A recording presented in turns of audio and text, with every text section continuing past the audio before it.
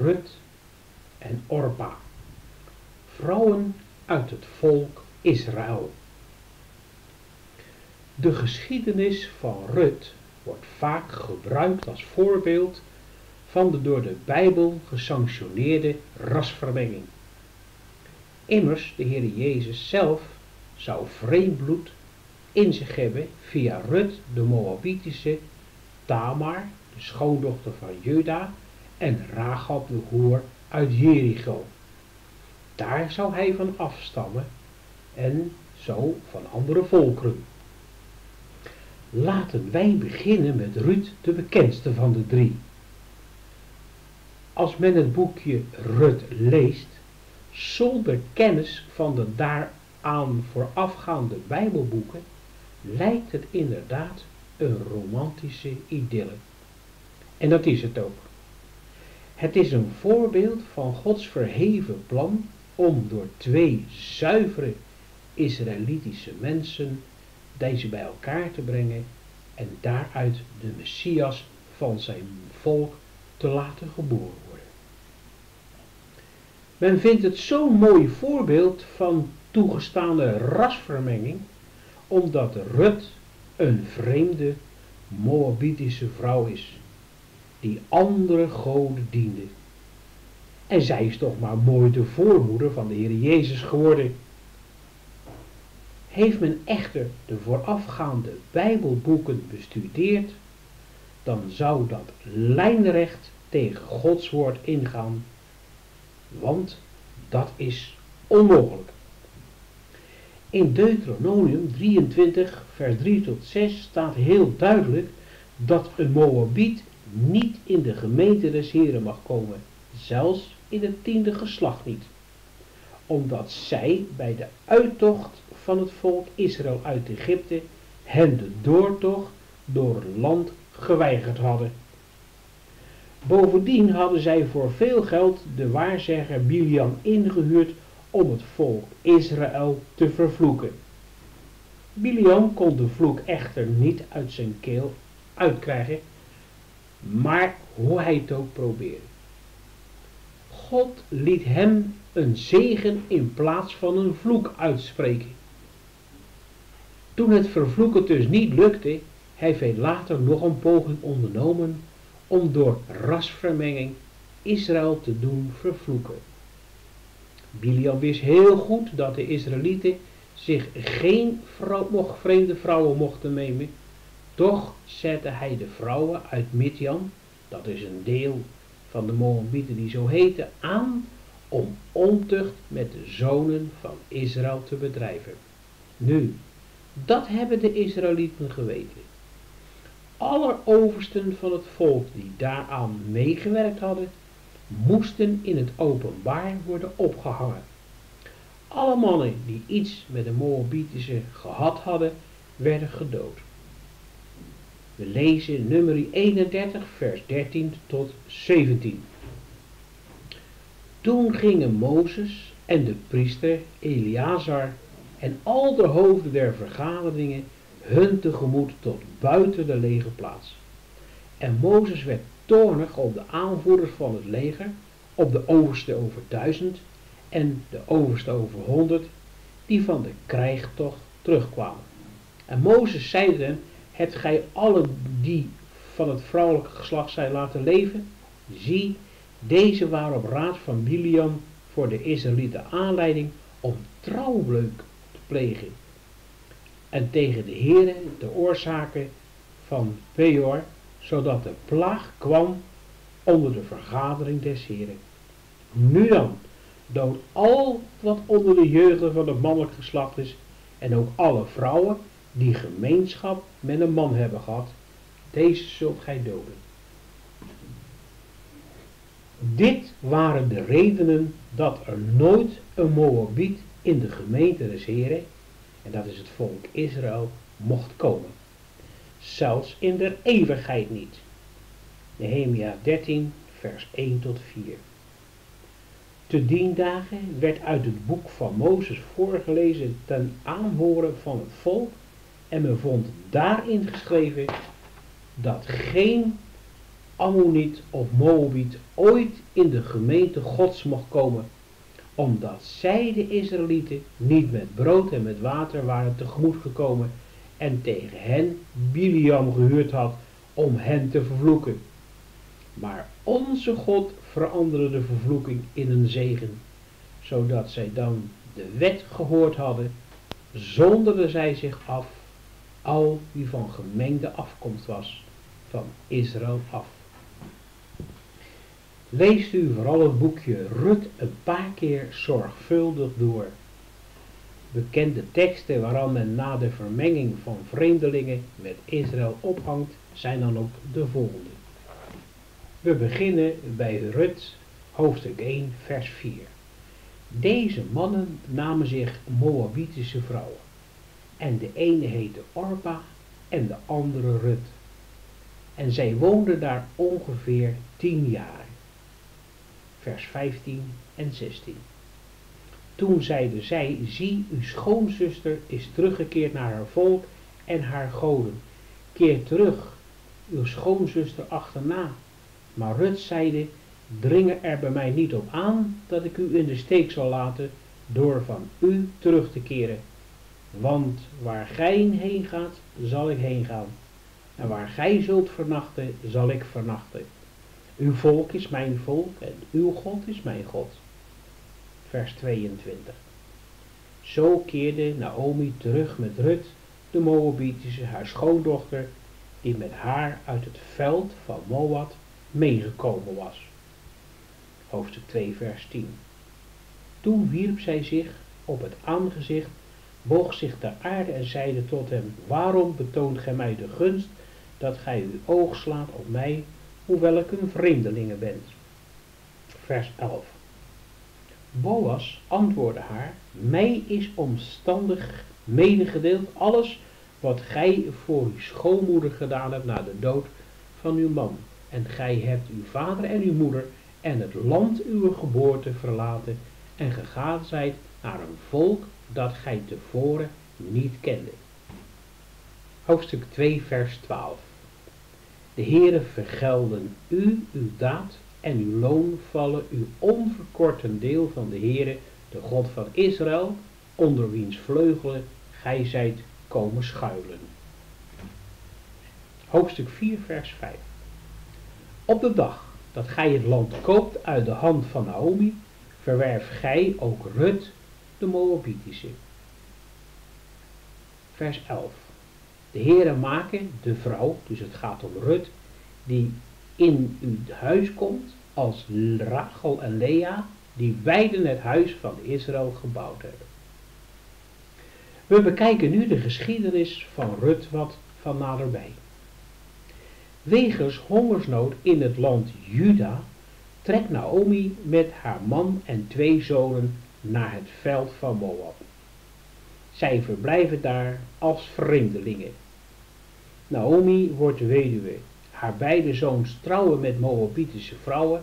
De een heette Orpa en de andere Rut.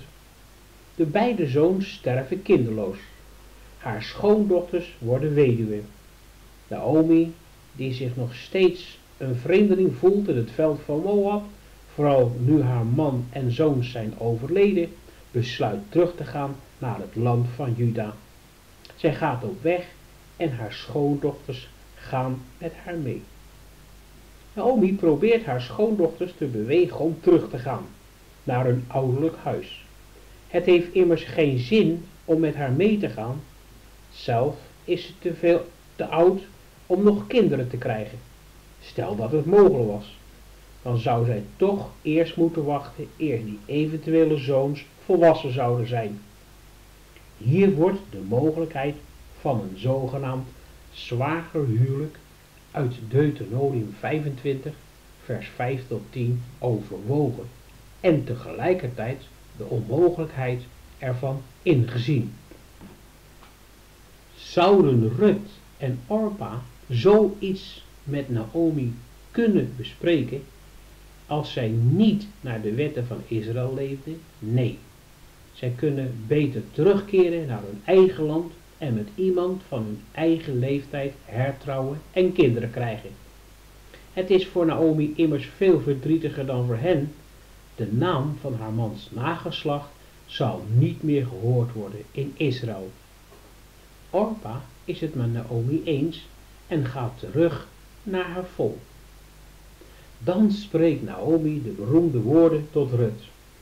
Zie, uw schoonzuster is teruggekeerd naar haar volk en haar goden. Rut is echter niet te bewegen en blijft bij Naomi. Ook zij spreekt beroemde woorden. Waar gij heen gaat, zal ik heen gaan. Waar gij de nacht doorbrengt, zal ik de nacht doorbrengen. Uw volk is mijn volk en uw God is mijn God. Als blijkt dat Rut vastbesloten is om bij Naomi te blijven, gaan beiden op weg naar Bethlehem in het land van Juda. In Bethlehem aangekomen raakt de hele stad in opschudding. Naomi, die immers jaren geleden met haar gezin geëmigreerd was, is terug. Iedereen is nieuwsgierig. Dat doen, dan doet Naomi haar droevig verhaal.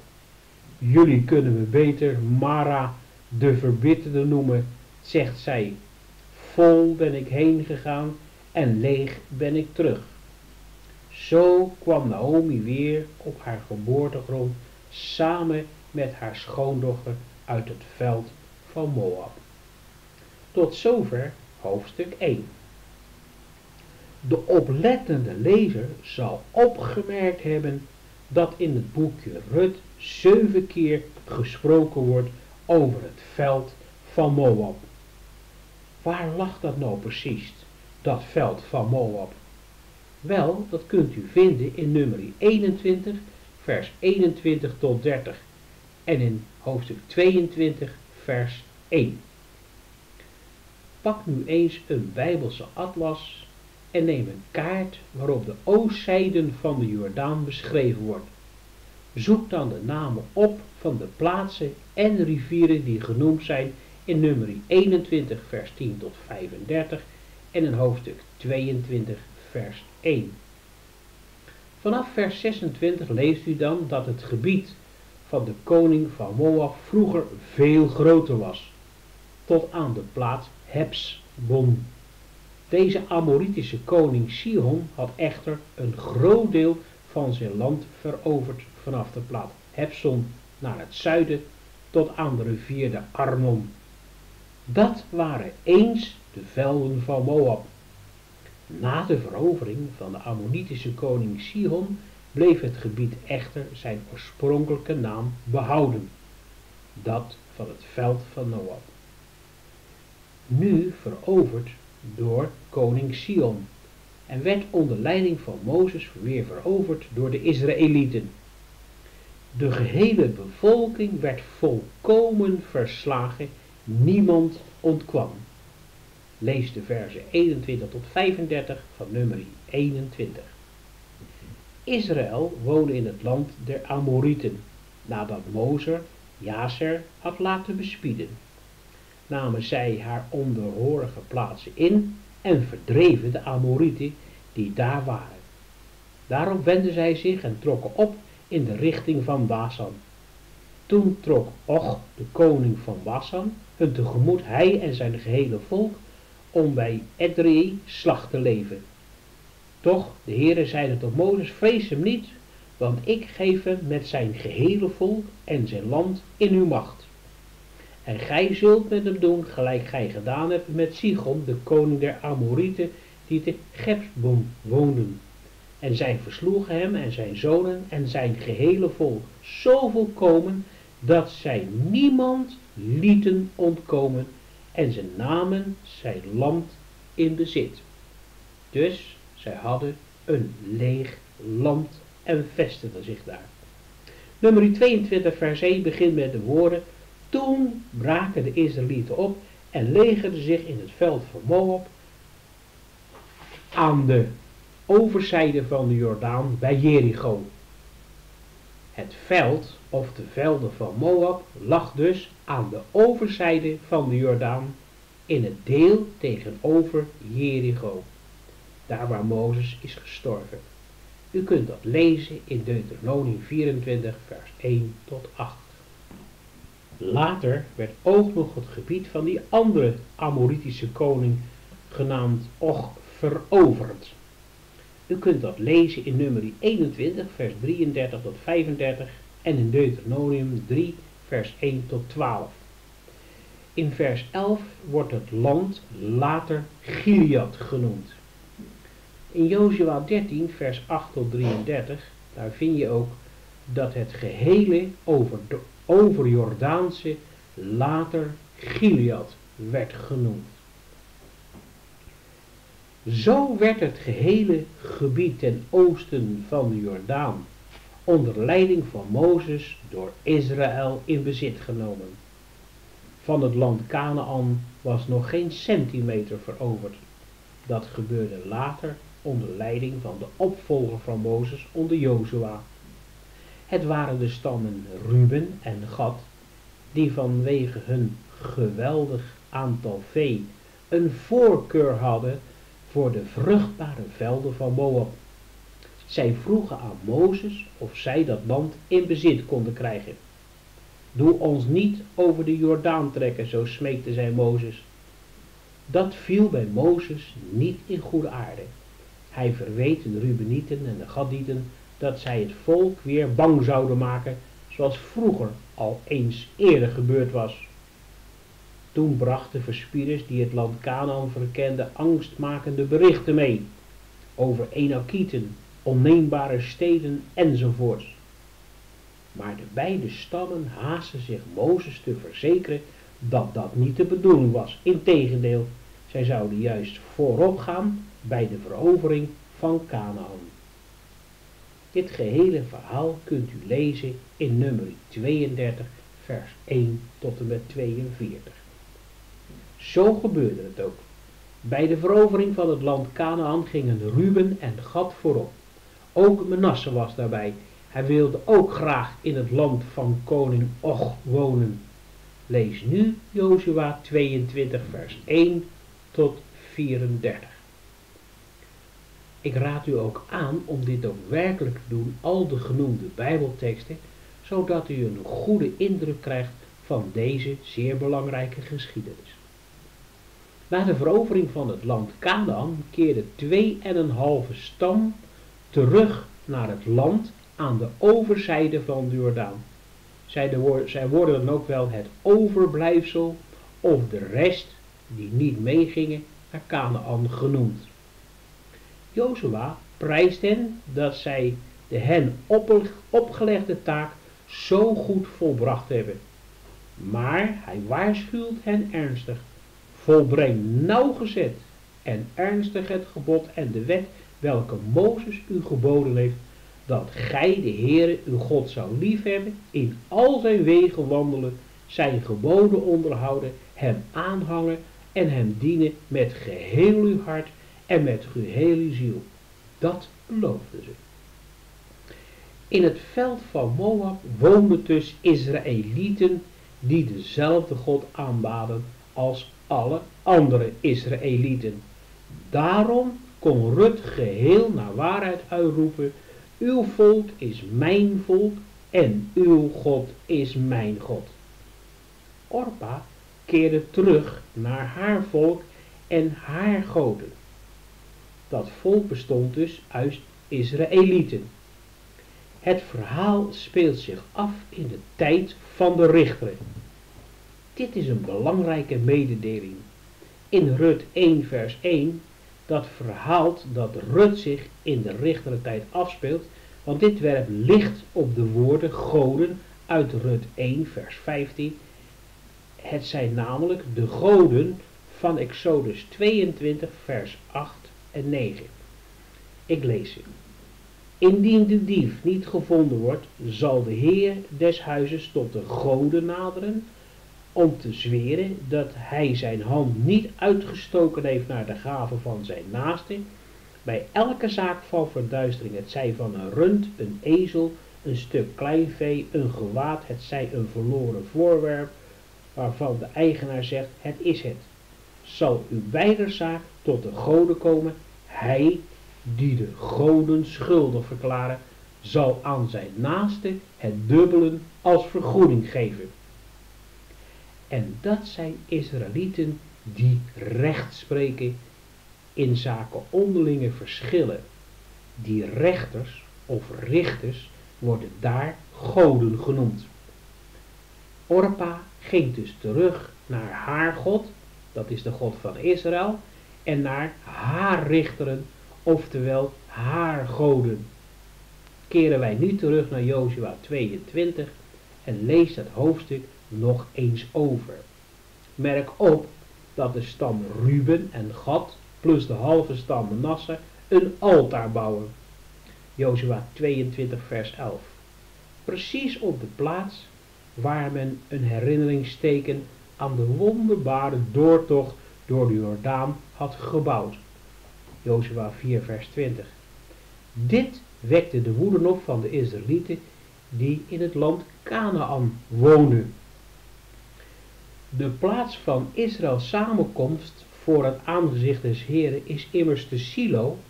Dat lezen wij Jozua 18 vers 1, vers 8 en vers 10. Daar staat het altaar waarop geofferd wordt. Er breekt bijna een oorlog uit. Dan haasten zich de Israëlieten van de overzijde van de Jordaans hun broeders te verzekeren dat zij niets kwaads in de zin hebben. Het tegendeel is waar. Het altaar dat gebouwd wordt is geen brandafvoeraltaar, het is een getuigenisaltaar. Om de Israëlieten uit het land Canaan eraan te herinneren dat er aan de overkant van de Jordaan, in het land Gilead en in het veld van Moab ook Israëlieten wonen die dezelfde God aanbidden en ook onder de wet van Mozes staan. Na verloop van jaren zou men dat kunnen vergeten. Het zou men als hun vriend gaan beschouwen. Iets wat in de tijd van Rut min of meer is gebeurd. Rut werd als vreemdelingen gezien omdat zij uit een ander deel van Israël kwam. Net zoals iemand uit Drenthe die zich in Amsterdam een vreemdeling voelt. In Richter 17 verhaalt over een man uit Juda Richter 17 vers 17. Hij was een Israëliet en verbleef in de gebergte van Ephraim als een vreemdeling. We lezen. Nu was er een jongeling uit Bethlehem in Juda, uit het geslacht Juda. Hij was een leviet en hij vertoefde daar als vreemdeling. U ziet, zo wordt dat opgeschreven in die dagen. Rut was volkomen op de hoogte van de wetten en inzettingen van Mozes. Die waren alleen gegeven aan en het bezit van de gemeente van Jacob. En aan niemand anders. Zo staat het geschreven in Deuteronomium 33 vers 4. Mozes heeft ons de wet geboden, een bezit voor de gemeenten van Jacob. Kijken wij nu naar hoofdstuk 2, waar Rut gaat aren lezen, Toevallig komt zij terecht op het land van Boas. Hij heeft al van haar gehoord, want haar goede naam is haar vooruitgegaan. Hij neemt haar in bescherming door haar te zeggen dat zij op zijn land moet blijven bij de arbeidsters. De knechten mogen haar niet lastig vallen. Rut vraagt Boas waarom hij zo voor haar opkomt. Zij is toch immers een vreemdelinge? Boas antwoordde over haar uitvoerig dat hij over haar is ingelicht over alles wat zij voor Naomi heeft gedaan. Hoe zij gegaan is naar een volk dat zij tevoren niet kende en is komen schuilen onder de vleugelen van de God van Israël. Hier spreekt Boas bewondering voor Ruts levensverhouding. Voor haar die toch van de, over de grens kwam in feite wordt hier Boas eraan herinnerd dat er ook nog andere Israëlieten zijn uit een ander volk die schuilen onder de God van Israël. Het zijn de Israëlieten uit het land Gilead en uit het land Moab. De Israëlieten woonden verdeeld over verschillende landen. Het land Canaan, ten westen van de Jordaan, het land Gilead ten noordoosten van de Jordaan en het land of het veld van Moab ten zuidoosten van de Jordaan. Net zoals het Nederlandse volk in verschillende landen woont. In Nederland, in België, Noord-Frankrijk. En vergeet ook niet naar Zuid-Afrika. Daar wonen allemaal Nederlands sprekende mensen, behorende tot één volk. Toch zien wij een Vlaming, of hij nu uit België komt, of uit Noord-Frankrijk, of een Zuid-Afrikaanse boer, als vreemdeling, als hij zich hier in Nederland komt vestigen of alleen op bezoek is. Zo werd Rut als een vreemdelinge gezien in het land Juda. Als Rut haar medewaardigheden vertelt aan Naomi, deelt deze haar mee dat Boas een bloedverwant van hen is. Hij is zelfs een van de lossers. In hoofdstuk 3 doet zij Rut de mogelijkheid aan de hand om Boas, de losser, voor haar familie te laten worden. De liefdevolle list om Boas een kind bij Rut te doen verwekken mislukt. Boas is niet de naaste losser, er is een ander bloedverwant. Die kan het lossingsrecht echter niet op zich nemen. Pas dan kan Boas geheel volgens de wetten van Mozes Rut ten huwelijk nemen. Zie hoe nauwgezet Boas de wet in acht neemt. En zou nou zo'n man met een van de dochters van de volken rond hem in, rondom hem in het huwelijk treden? Iets wat God verboden had. Want wij lezen Exodus 34, vers 15 en 16. Sluit toch geen verbond met de inwoners van het land wanneer gij hun goden overspelig nalopen en aan hun goden offeren, dan zouden zij u uitnodigen en gij zoudt van hun slachtoffer eten.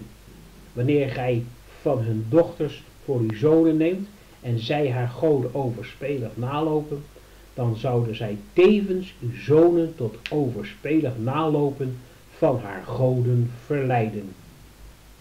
Nehemia 10 vers 30 Verder verplichten wij ons dat wij onze dochters niet zouden geven aan de volkeren des lands en hun dochters niet tot vrouwen zouden nemen voor onze zonen.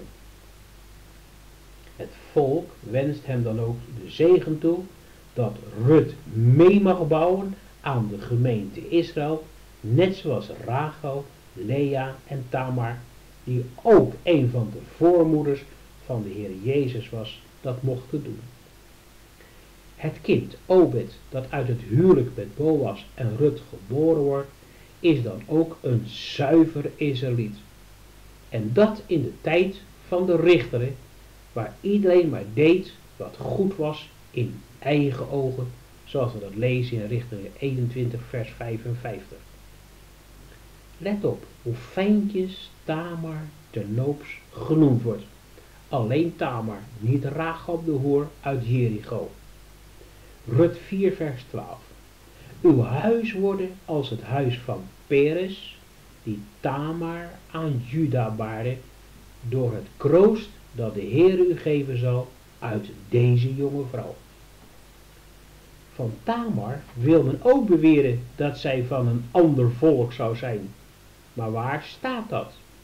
Lees Genesis 38 nauwkeurig door. Kunt u het vinden? Waarom staat er wel bij dat de vrouw die Juda huwde een Kanaïtische was? En daar staat in vers 2. En Juda zag de dochter van een Kanaïtische man genaamd Shua en hij huwde haar en kwam tot haar. Genesis 38 vers 2. Omdat God daar een bedoeling mee had.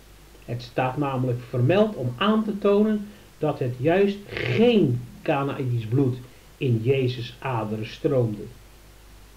Juda, die dus een Kanaïtische vrouw trouwde, verwekte drie zonen bij haar. Er, Onan, Sela. Juda nam voor zijn zoon Er Tamar als vrouw. Er wekte het en wekte het misgenoegen van de heren op, en hij doodde hem. Er zijn dus geen kinderen Tamar wordt dus weduwe. Dan sluit zij het Liviaanse huwelijk met haar zwager Onam. Onam weet dat de eventuele kinderen die hij verwekt gelden als nageslacht van zijn broer. Ook de erfenis die zijn broer nagelaten heeft, komt de kinderen toe. Onan heeft er geen trek in en trekt zich terug. Dat moet hij met de dood bekopen. Tamar is dus weer weduwe zonder kinderen. Juda raadt zijn schoondochter Tamar aan om als weduwin in haar ouderlijk huis te gaan wonen, totdat Sela, de derde en jongste zoon, volwassen is. Dan kan hij alsnog voor nageslacht zorgen.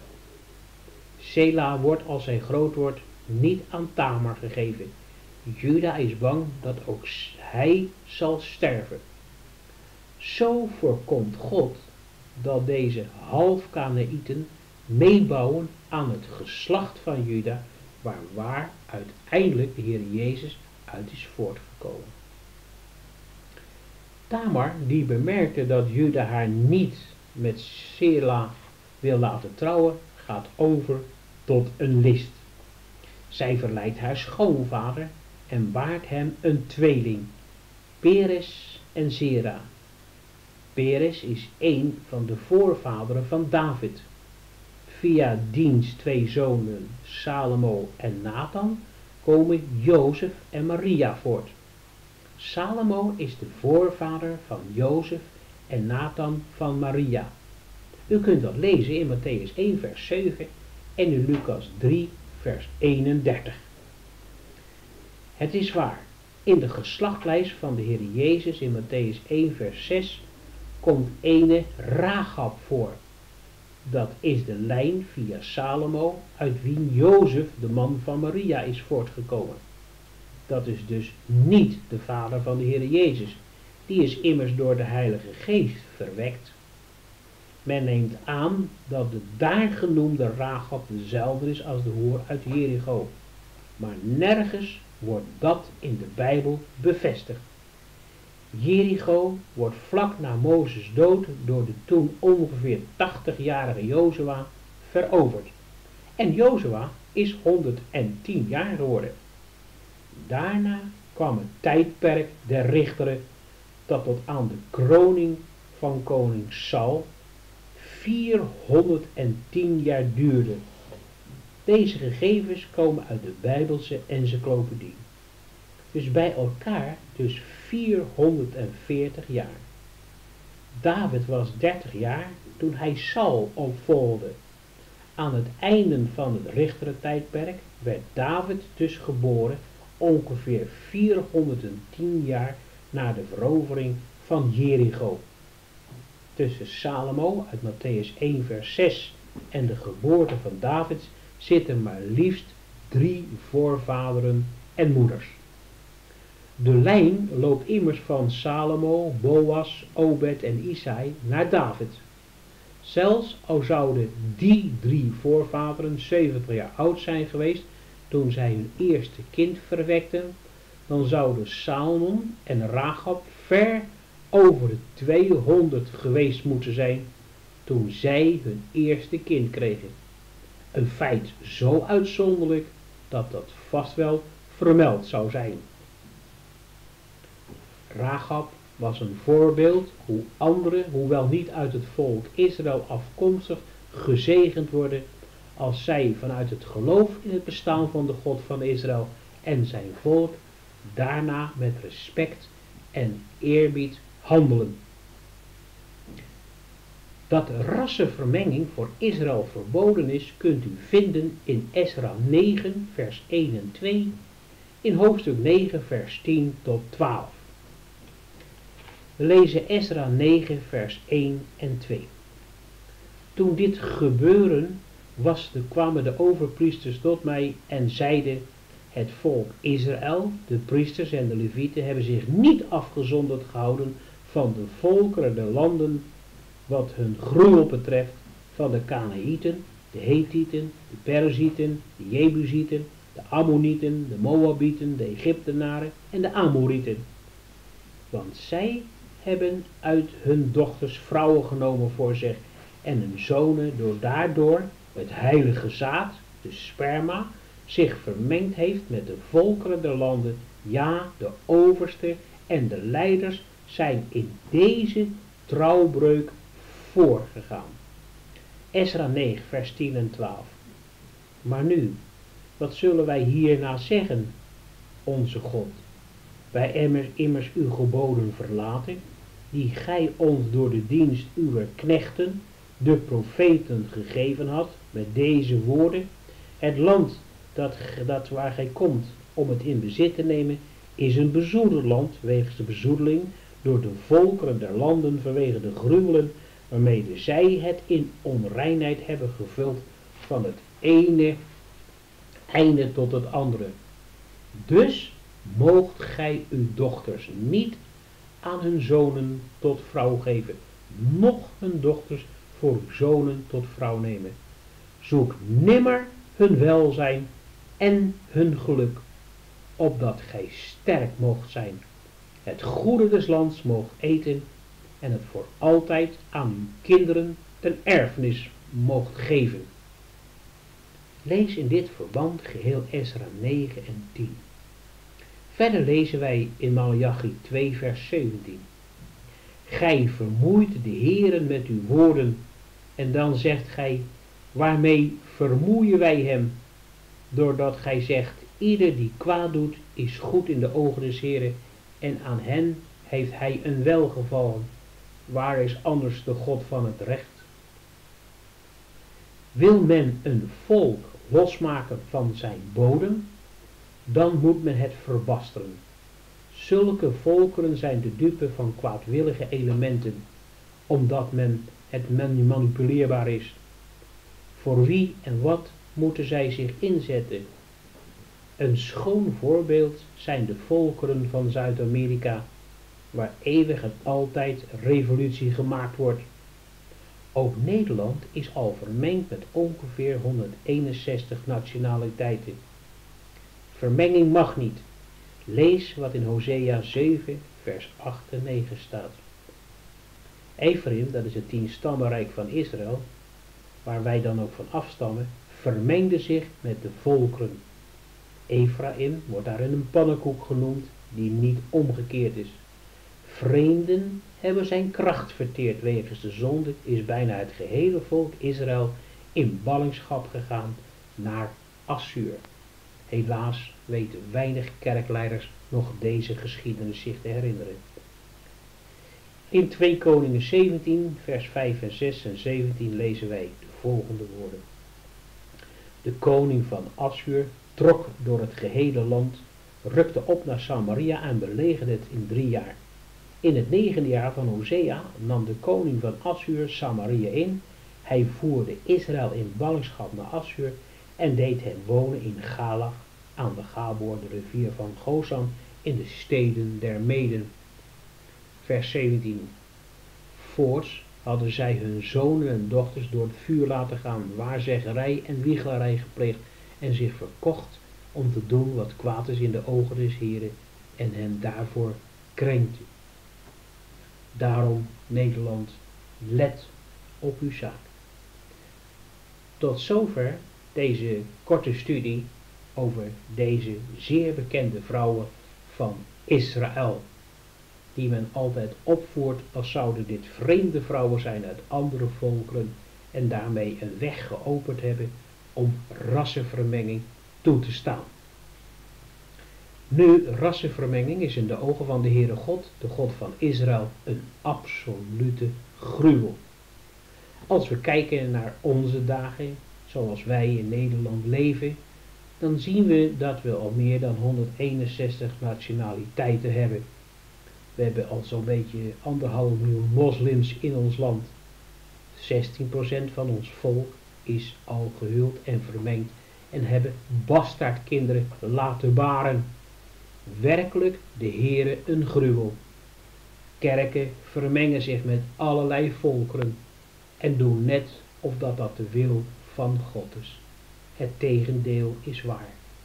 Maar het is natuurlijk zo in dit land dat racisme de allergrootste zonde is die je maar kan bedenken.